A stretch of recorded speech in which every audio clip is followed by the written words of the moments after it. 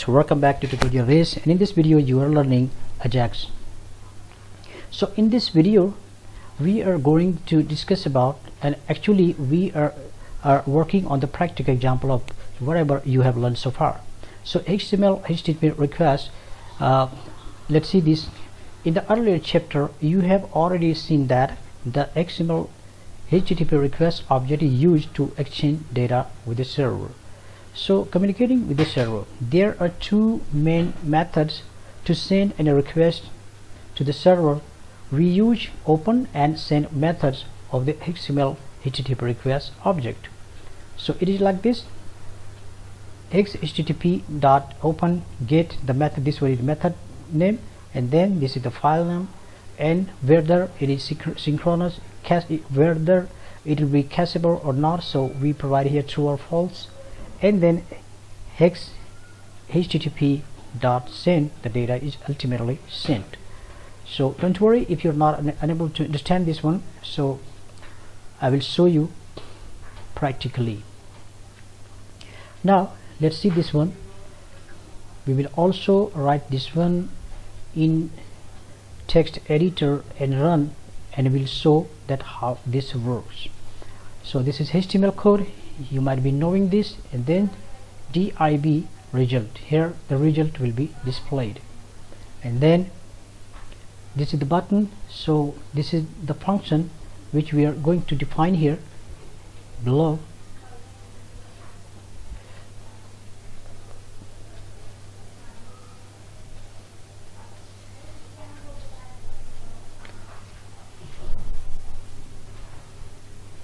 So how will it work this one.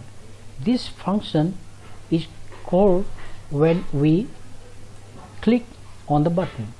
And then as mentioned before that an object of this XML HTTP request method is created here. This one okay? And then using this one we write here on ready state change.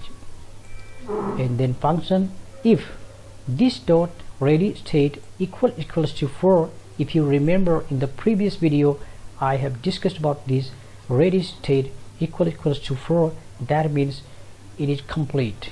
And then the status is 200 that means okay in that case document dot get element by id then result inner html and then response this dot response dot text. So this response dot text is received from the server and ultimately whatever it comes this one come through this get method and actual data is where? Here. So this data and this is sent. Now this data is displayed here in this div so let me show you the practically. I've opened this text editor sublime text and just paste this code. And now let me save here. So this one is hello.html okay there is something wrong here. First of all this div will be closed here. And then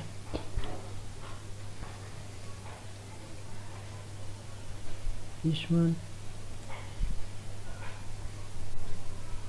okay there is something wrong here. In character actually.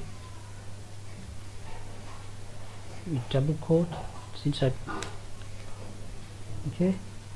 And here also.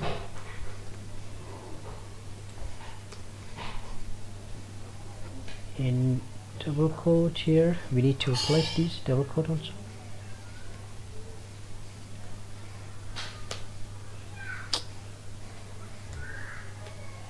and here too.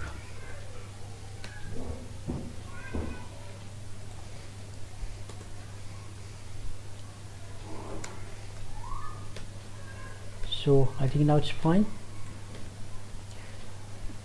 Alright so now let's open this one in browser. But before that we need to create this page load data.txt now let's create another file. And just I'm writing here hello world. Save it. What's the name? Its name is load data.txt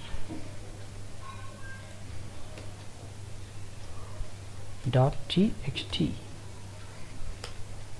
so this data will be displayed here after clicking this button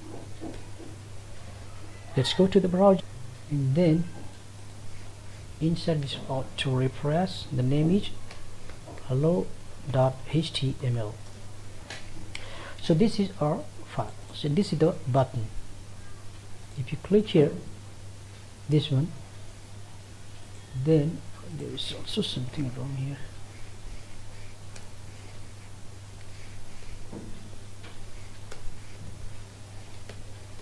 alright so refresh it. No not this one.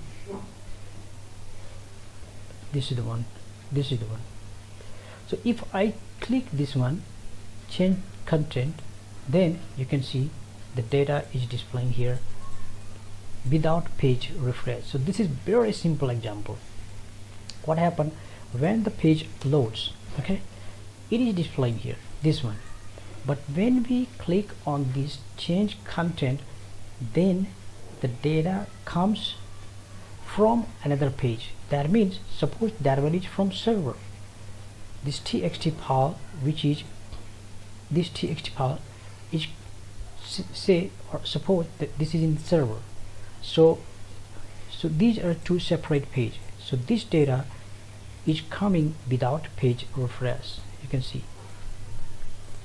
if you click here then this data is coming from other page without page refresh so now let's get back to the code and understand that how this works. All right so this div actually this is where the actual data is loaded. So from where it detects from here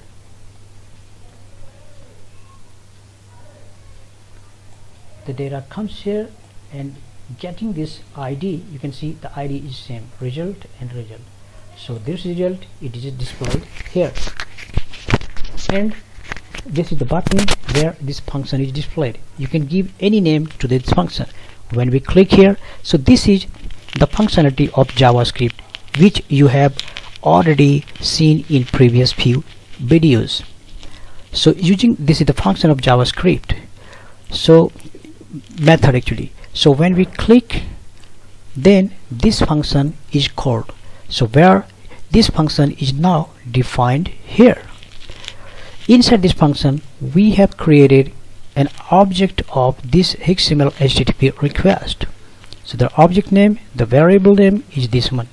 And using this XML this HTTP request on ready state change then inside that function and then if this ready state change is 4 that means is complete and status equal equal to 200 that means uh, it's okay it's fine.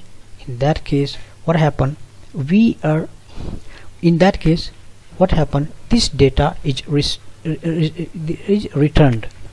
And then when this data is returned as response.txt from server or from other page then this is a simple HTML code.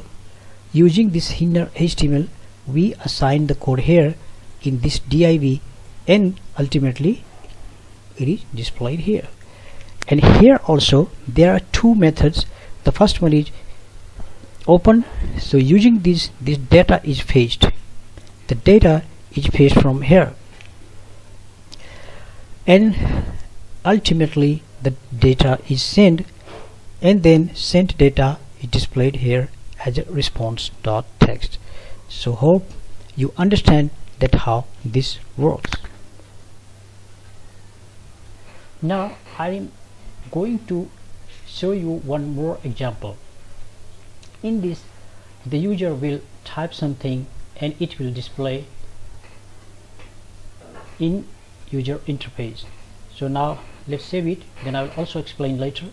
This is course.html right now let's run this in browser first. Course.html right if I type here Ajax then the result should automatically display here so there is something wrong. Let me check alright because we have not created this file so far so let's create this one.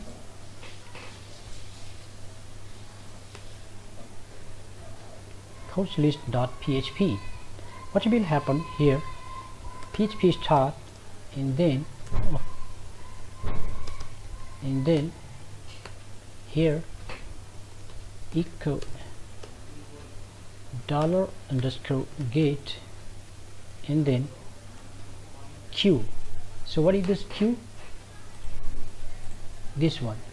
This query string. You can give any name here.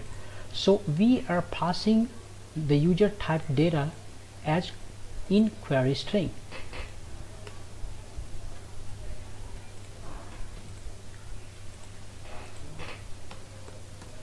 Jax. so now we need to display this one. Semicolon and then echo now refresh it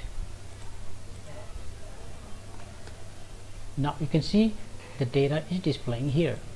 So this data so what happens actually? This one is going to so how does it work? When you type this one Ajax so in actual it passes the data. So how it pass let me show you. Press right click this and inspect element and then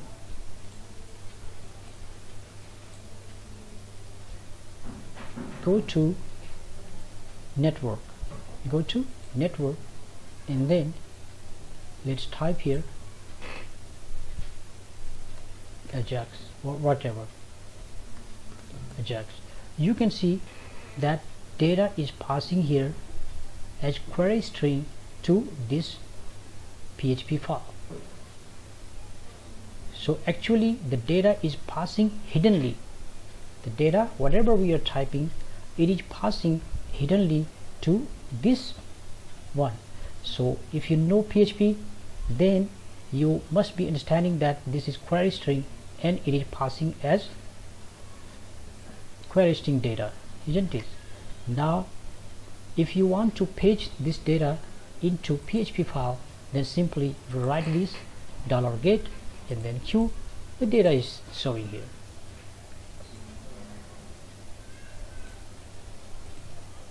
So if you click on this then response you can see this ajax. So what is this response? All right so now get back to this. So how this works? Let's understand. Let me explain you. First when you type into the text text box that means okay let's do this way. To understand it better.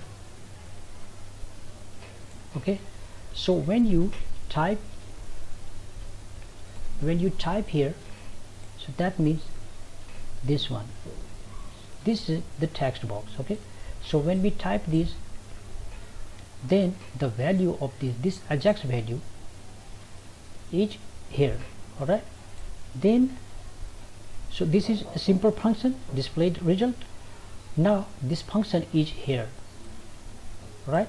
So this data is passed as a parameter here as a str okay? Then here we check if str length equal equals to zero. That means if user has not typed anything in that case it will display nothing else once again we are creating here object of this XML HTTP then already state change and then everything is fine and okay. In that case this response dot text is received. So what is this response? Actually this one this response you can see. This response actually is this one. All right and then catching the div this data is assigned into this div and ultimately this div data is loaded here. This one. So hope you understand. It is very easy. And all this data the data whatever we type here is passed actually hiddenly here as a query string. And then we catch the data here in this PHP file. So this is very basic example. In the next video I will show you that when it will I will make you uh, for you you know a live search. So whenever user will type here it will fetch from database and it will display the result here. So stay connected. See you in the next video. Bye bye